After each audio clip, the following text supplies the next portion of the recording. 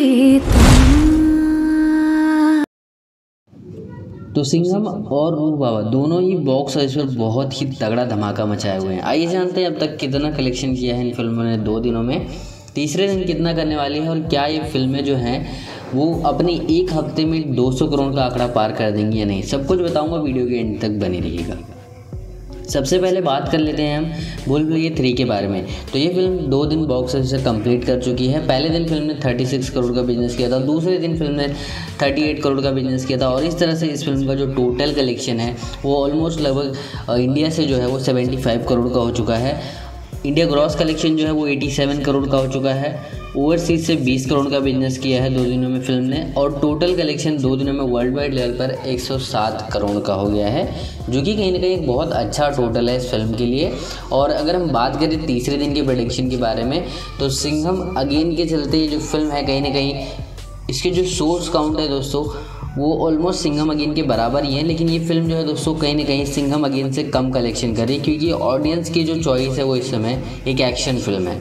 तो तीसरे दिन की अगर हम एस्टिमेट कलेक्शन प्रडिक्शन की बात करें तो वहाँ पर ये जो फ़िल्म है लगभग अराउंड 20 से 30 करोड़ के रेंज में कलेक्शन कर सकती है।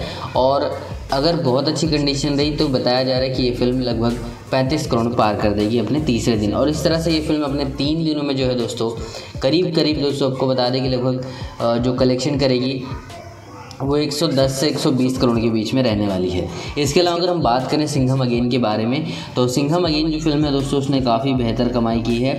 फ़िल्म ने पहले दिन ओपनिंग में ही बहुत अच्छा कलेक्शन किया था, लगभग तिरालीस करोड़ पचास लाख रुपये का।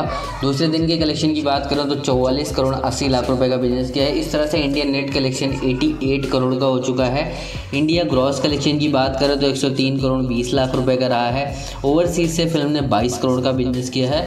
और वर्ल्ड वाइड लेवल पर फ़िल्म ने दो दिनों में 125 करोड़ और लगभग 20 लाख रुपए का बिज़नेस कर लिया है। बात करें अगर हम तीसरे दिन की तो वहाँ पर फ़िल्म जो है दोस्तों ऑलमोस्ट आपको बता दें कि Book My Show dot com पर जिस हिसाब से इसको इंटरेस्ट देखने के लिए मिल रहे थे, उस हिसाब से रिज़ल्ट आ रहे हैं। बाईस हज़ार टिकट हर घंटे सोल्ड कर रही है फ़िल्म और भूल भुलैया थ्री जो है वो उन्नीस हज़ार के आसपास सोल्ड कर रही है। तो तीसरे दिन जो ये फ़िल्म है दोस्तों, ये कम से कम तीस से पैंतीस करोड़ की रेंज का बिज़नेस करेगी, और आपको दोस्तों बता दें कि ये फ़िल्म अपने तीन दिनों में लगभग एक सौ तीस से एक सौ चालीस करोड़ तक पहुँच जाएगी।